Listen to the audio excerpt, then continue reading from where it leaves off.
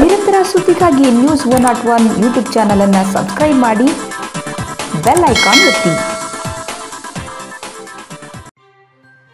ತಹಶೀಲ್ದಾರ್ ಆದೇಶಕ್ಕೆ ಸೆಡ್ ಹೊಡೆದು ಮೈಸೂರು ಜಿಲ್ಲೆಯ ನಂಜನಗೂಡು ತಾಲೂಕಿನ ಘಟವಾಡಿ ಗ್ರಾಮದಲ್ಲಿ ಜಾತ್ರೆ ನಡೆಯುತ್ತಿದೆ ಎಂಬ ಆರೋಪ ಕೇಳಿಬಂದಿದೆ.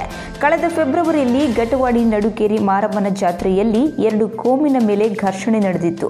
ಈ ವಿಚಾರವಾಗಿ ನಂಜನಗೂಡು ತಹಶೀಲ್ದಾರ್ ಗ್ರಾಮದಲ್ಲಿ ಯಾವುದೇ ಹಬ್ಬಗಳಾಗಲಿ, ಜಾತ್ರೆಗಳಾಗಲಿ ದೇವಸ್ಥಾನದಲ್ಲಿ ಮೂರ್ತಿ ಇಟ್ಟು ಪೂಜೆ ಮಾಡುವುದನ್ನು ನಿರ್ಬಂಧಿಸಿ ಆದೇಶ ಹೊರಡಿಸಿದ್ರು. ಇಂದು ಒಂದು ಸಮುದಾಯ ಮಾಲಾಶ್ರಮ ಮತ್ತು ಮಸಣಮ್ಮ ಜಾತ್ರೆಯನ್ನ ಮಾಡ್ತಿದ್ದಾರೆ ಎಂದು ಆರೋಪಿಸಿದ್ದಾರೆ. ಎಲ್ಲರೂ ಒಟ್ಟಿಗೆ ಸೇರಿ ಮಾಡುವ ಜಾತ್ರೆ ಯಾರಿಗೂ ಹೇಳದೆ ರಾತ್ರಿಯ ಸಮಯದಲ್ಲಿ ದೇವರ ಮೂರ್ತಿಯನ್ನ ದೇವಸ್ಥಾನದಲ್ಲಿರಿಸಿ ಪೂಜೆ ಮಾಡ್ತಿದ್ದಾರೆ ಎಂದು ಗ್ರಾಮಸ್ಥರು ತೀವ್ರ ವಿರೋಧ ವ್ಯಕ್ತಪಡಿಸಿದ್ದಾರೆ. ಈ ಸಂಬಂಧ ಪ್ರಕರಣ ದಾಖಲಾಗಿ ಯಾವುದೇ ಆಚರಣೆ ಮಾಡಬಾರದು ಎಂದು ದೊಡ್ಡ ಕವಲಂದೆ ಪೊಲೀಸ್ ಠಾಣೆಯಲ್ಲಿ ಆದೇಶವಾಗಿದೆ. ಈ ಬಗ್ಗೆ ಪೊಲೀಸ್ ಅಧಿಕಾರಿಗಳಿಗೆ ತಿಳಿಸಿದ್ರೂ ಸ್ಪಂದಿಸದ ದೊಡ್ಡ ಕವಲಂದೆ ಪೊಲೀಸರೇ ನಿಂತು ಜಾತ್ರೆ ಮಾಡಿಸ್ತಿದ್ದಾರೆ ಎಂದು ಗ್ರಾಮಸ್ಥರು ದೂರಿದ್ದಾರೆ. ಹೀಗಾಗಿ ಗ್ರಾಮದಲ್ಲಿ ಬಿಗುವಿನ ವಾತಾವರಣ ನಿರ್ಮಾಣವಾಗಿದೆ.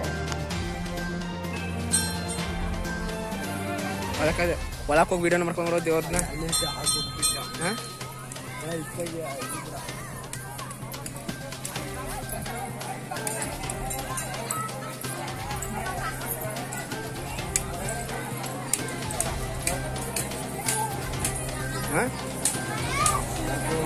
ಯಾಕ? ಹಿಂಗೆ ನೋಡ್ತಾ ಹೋಯ್ತಾರಂಬ ಯಾಕ?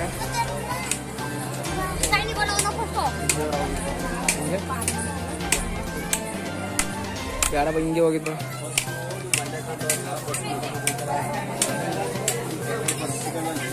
ಇವತ್ತು ನಿಮಿಷ ಗೊತ್ತ ನೋಡ್ತೀನಿ